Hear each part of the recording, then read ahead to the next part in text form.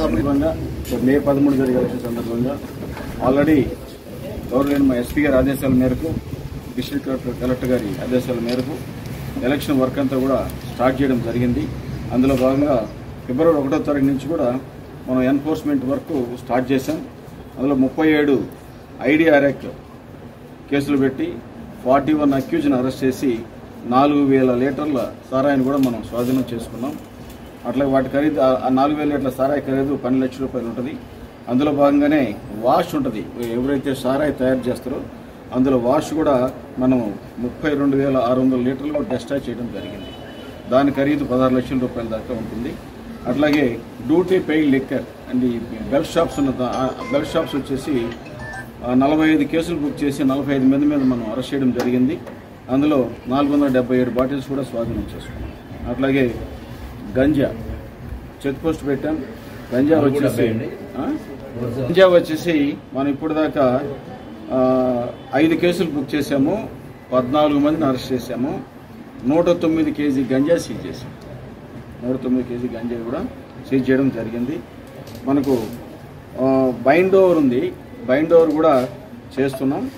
మన డివిజన్లో అరవై మంది రౌడీ షీటర్ని మనం బైండ్ ఓవర్ చేసాము అట్లాగే ఓల్డ్ ఎలక్షన్ కేసెస్ ప్రీవియస్గా ఎలక్షన్ కేసెస్ ఉంటే అందులో కూడా నూట పద్నాలుగు మందిని ఐడెంటిఫై చేసి బైండ్ ఓవర్ చేయడం జరిగింది. అట్లాగే ట్రబుల్ మ్యాంగర్స్ని కూడా కొంతమందిని ఐడెంటిఫై చేసి ఎవరైతే ట్రబుల్ క్రియేట్ చేస్తారో ఎలక్షన్ సందర్భంగా వాళ్ళని కూడా యాభై నాలుగు మందిని మనం బైండ్ అవుట్ చేయడం జరిగింది. అట్లాగే పాత హత్య కేసులు హత్యాయత్నం కేసుల్లో కూడా లిస్ట్ అవుట్ చేసి దాంట్లో కూడా ముప్పై ఏడు మందిని మనము బైండ్ అవుట్ చేయడం జరిగింది. టోటల్ ఇప్పుడు దాకా ఎవరైతే ట్రబుల్ మాంగర్స్ ఉన్నారో అందరినీ కూడా అన్ని రకాల వారిని కలిపి మనము రెండు వందల అరవై ఐదు మందిని ఇప్పుడు దాకా బైండ్ అవుట్ చేయడం తహసీల్దార్ దగ్గర పెట్టి గుడ్ బిహేవియర్ కోసము లక్ష రూపాయలు ఏదైనా వాడు వైలేట్ చేస్తే వన్ ల్యాక్ కట్టే విధంగా కూడా బైండ్ అవుట్ చేయడము పూచీకత్తు తీసుకోవడం జరిగింది. అట్లాగే మనకు ఎలక్షన్ సందర్భంగా ఎస్పీ గారి ఆదేశాల మేరకు రెండు చెక్ పోస్టులు పెట్టాం జిల్లా బార్డర్లో. ఒకటేమో గోకవరము అట్లాగే ఇంకోటేమో రాజానగరం ఈస్ట్ మా ఈస్ట్ ఈస్ట్ గానిగూడెం దగ్గర ఒక చెక్ పోస్ట్ పెట్టడం జరిగింది. రెండు చెక్ పోస్టులు కూడా రౌండ్ ది క్లాక్ నడుస్తూ ఉన్నాయి. ఆ రెండు కూడా బార్డర్ చెక్ పోస్టులు బార్డర్ దగ్గర జిల్లా బార్డర్ అవన్నీ కూడా అక్కడి నుంచి ఏదన్నా ఐటమ్స్ వస్తే దానికి సీజ్ చేసేదానికి ఉంది. అట్లా కూడా సీజ్ చేసాం కూడా. కొంత గంజా కూడా సీజ్ చేసాం లిక్కర్ కూడా సీజ్ చేసాం ఐడిఆర్ఎఫ్ కూడా సీజ్ చేయడం జరిగింది. అట్లాగే మనకు సిఐఎస్ఎఫ్ ఒక కంపెనీ వచ్చింది మనకు సిఐఎస్ఎఫ్ ఒక కంపెనీ వచ్చింది. ఆ కంపెనీ మనం రాజానగర్లో ఉంటున్నారు. వాళ్ళని పెట్టుకొని ఏదైతే విలేజెస్ పెద్ద పెద్ద విలేజెస్ ట్రబుల్ విలేజెస్ అనుకుని అన్నీ కూడా మనం ఫ్లాగ్ మార్చి చేస్తున్నాం. ఆల్మోస్ట్ ఆల్ డివిజన్లో అన్ని గ్రామాలు కూడా ఫ్లాగ్ మార్చి కంప్లీట్ చేయడం జరిగింది. రెండో దఫా కూడా మనం కంప్లీట్ చేస్తాము. ఇవన్నీ ఎందుకు చేస్తున్నామంటే ప్రజలందరూ కూడా చాలా ఎలక్షన్ చూసుంటారు. ఇట్లా ఈ ఎలక్షన్ కూడా ముందు జాగ్రత్తలు చర్యలు మేము తీసుకుంటున్నాం.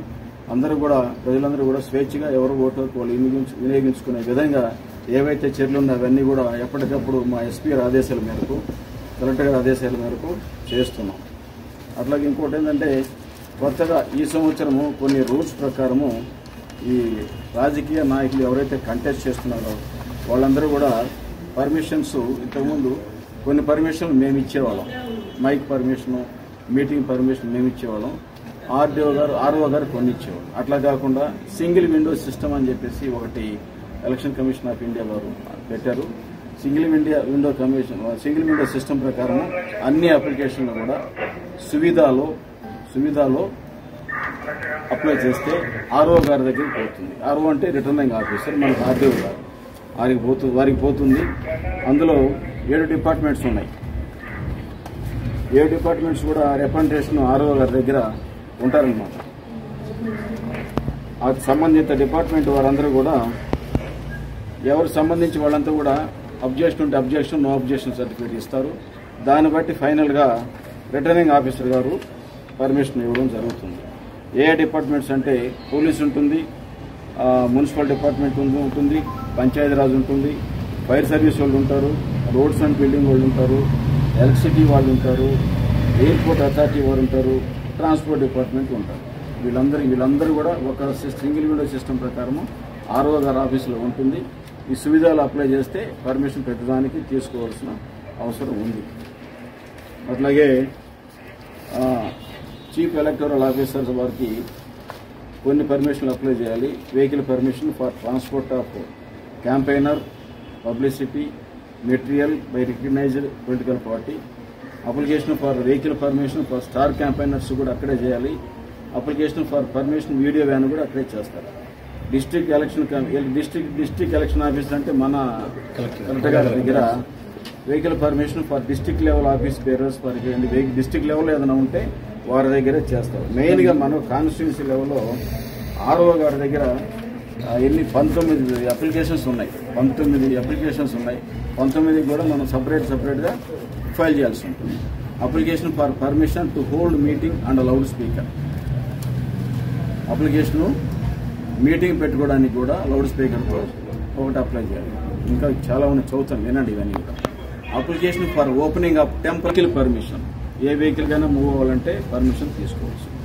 Application for permit to to to take out and loud speaker ఏదైనా ర్యాలీలు ఉన్నప్పుడు ప్రొసెస్ ఉన్నప్పుడు ఊరేగింపు ఉన్నప్పుడు తప్పనిసరిగా పర్మిషన్కి అప్లై దానికి ఒక అప్లికేషన్ ఉందన్నమాట application for permit to street corner meeting and loud speaker ఎక్కడన్నా వీధులు చివరిలో చిన్న చిన్న మీటింగ్లు పెట్టాలన్నా కానీ పర్మిషన్ తీసుకోవాలి.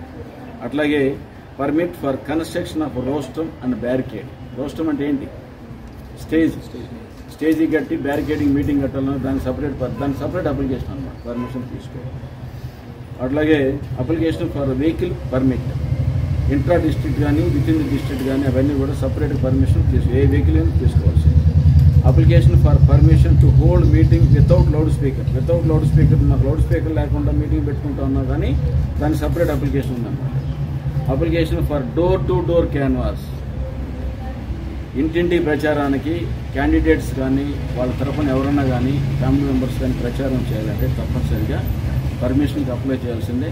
ఆ పర్మిషన్లో ఎంత ఖర్చు అవుతుందని కూడా దాంట్లో ఉంది ప్రాపర్ మనకి చూపిస్తారు చేసి కూడా అప్లికేషన్ సపరేట్గా దాని సపరేట్ అప్లికేషన్ అనమాట one vehicle for complete assembly area for the candidate అది ఎన్ని రూల్స్ ప్రకారం ఎన్ని ఉన్నాయో సపరేట్ సపరేట్ వెహికల్స్ దాన్ని అప్లై చేసుకున్న దాన్ని బట్టి రూల్స్ ప్రకారం అటు ఆర్ఓ గారు ఇస్తారన్నమాట.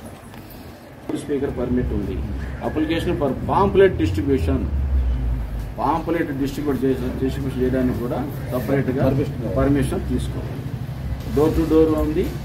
పాంప్లెట్ డిస్ట్రిబ్యూషన్ కూడా పర్మిషన్ తీసుకోవాలి. Application for display banner and flags application for display of banners and flags one vehicle for complete assembly area for the candidate election agent okay ఈ vehicles ఎన్ని వల్ల నిర్ణయిస్తారు one vehicle for assembly segment for the party or party worker application for the display posters hoardings మీకు తెలిసిందే posters hoardings అని తెలిసి దాన్ని కూడా పర్మిషన్ తీసుకోండి అప్లికేషన్లో ప్రతి కూడా క్యాండిడేట్ అప్లై చేయాలి. నేను మీటింగ్ పెడుతున్నాను లేకపోతే నేను క్యా డోర్ టు డోర్ క్యాంపెయిన్ చేస్తున్నాను. దీని ఇంత ఖర్చు అవుతుందని కూడా రాయాలి.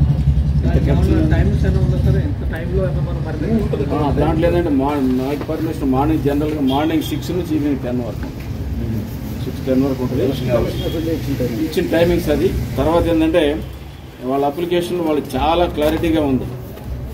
ఎంత ఖర్చు అవుతుందని కూడా ఇవ్వ రాయాలి టైం పర్మిషన్ తీసుకోకుండా కార్యక్రమాలు జరుగుతున్నాయి అనుకోండి. అప్పుడు అది ఎవరైనా కంప్లైంట్ చేయాలండి లేదా మీరే చేస్తారు. టీమ్స్ తిరుగుతున్నాయి. Already already flying squad team తిరుగుతా ఉంది ఎంసీసీ టీం తిరుగుతా ఉన్నాయి. ఒక- మాది ఒకటే పోలీస్ కాదు. వాళ్ళే ఎంపీడీఓ నుంచి ఎగ్జిక్యూటివ్ ఆఫీసర్ దగ్గర నుంచి రకరకాల డిపార్ట్మెంట్స్ ఎంక్లోజ్ చేసి ఒక టీం ఫామ్ చేసి తిరుగుతున్నాయి. ఆ, అన్ని డిపార్ట్మెంట్స్ ఇన్వాల్వ్ అని వాళ్ళు మూవ్ అవుతా ఉంటారు. Case violation case.